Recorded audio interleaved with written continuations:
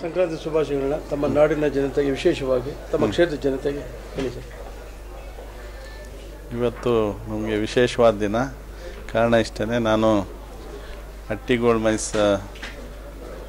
ಒಂದು ನಿಗಮದ ಅಧ್ಯಕ್ಷನಾಗಿ ಇವತ್ತು ನಾನು ಚಾರ್ಜ್ ತೊಗೊಂಡಿದ್ದೀನಿ. ಇಂಥ ಸಂದರ್ಭದಲ್ಲಿ ನಿಮ್ಮ ವಾಹಿನಿ ಮುಖಾಂತರ ಇಡೀ ನಾಡಿನ ಜನತೆಗೆ ಮಕರ ಸಂಕ್ರಾಂತಿ ಹಬ್ಬದ ಶುಭಾಶಯಗಳನ್ನು ಕೊಡ್ತೀನಿ ವಿಶೇಷವಾಗಿ ನಮ್ಮ ಕ್ಷೇತ್ರ, ಚಳ್ಳಿಕೆರೆ ಕ್ಷೇತ್ರದ ಎಲ್ಲ ಮತದಾರ ಬಂಧುಗಳು, ಯಾಕೆಂದರೆ ಅವರು ಭಾಳಷ್ಟು ಮುಖ್ಯ. ನಾನು ಈ ಕ, ಇದಕ್ಕೆ ಬರಲಿಕ್ಕೆ ಅವ್ರ ಮುಖಾಂತರ ನಮ್ಮ ಜಿಲ್ಲೆಗೆ, ನಮ್ಮ ನಾಡಿಗೆ ಎಲ್ರಿಗೂ ಶುಭಾಶಯ ನಾನು ಇವತ್ತೇ ನಾನು ಚಾರ್ಜ್ ತೊಗೊಂಡಿದ್ದೀನಿ.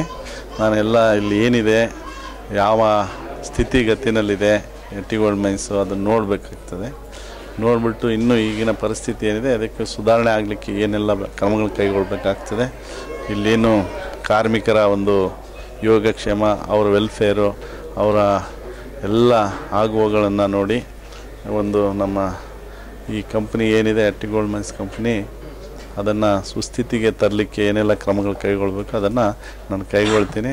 ಯಾಕಂದರೆ ಇವತ್ತು ನಾನು ಏನು ಅದನ್ನು ಏನು ಮಾಡ್ತೀನಿ ಅನ್ನೋದಕ್ಕಿಂತ ಒಟ್ಟಾರೆಯಾಗಿ ಇದು ಸುಧಾರಣೆ ಮಾಡಲಿಕ್ಕೆ ಏನು ಮಾಡಬೇಕು ಅದನ್ನು ಮಾಡ್ತೀನಿ ಅಂತ ಹೇಳ್ಬೋದು.